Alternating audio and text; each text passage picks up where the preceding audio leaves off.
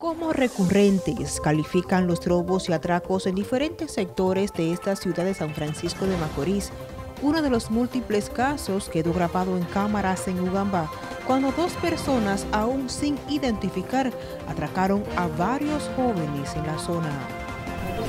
Ayer a la noche, como a las 10.55 de la noche, estábamos nosotros ahí, el cual llegaron dos individuos en una motocicleta blanca, eh, Tauro, ¿verdad? Digamos y trataron de atracarnos, el cual a un amigo mío le quitaron un teléfono, andaban como con un puñal y yo salí corriendo porque imagínense, hay que evitar.